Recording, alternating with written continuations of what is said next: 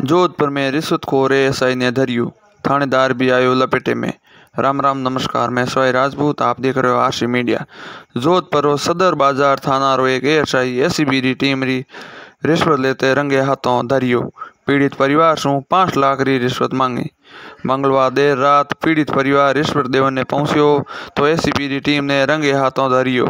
ACB की पूछताछ मायने थाना अधिकारी सुरेश पोटलिया और एएसआई नंद किशोर ने गिरफ़्तार कर लिया।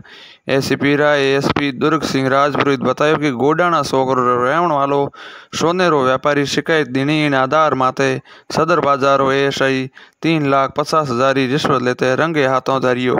सोचती गेट प्रभारी टेबल माथे रिश्वत लीनी। एसएसओ सुरेश पोटलिया भी इन मामले में भूमिका सामने आई। पूछताछ पसे दोनों ने गिरफ़्तार कर लिया है। सोनेरो व्यापारी लेन देन री कई सटोरियों रे साथे विवाद सालतो।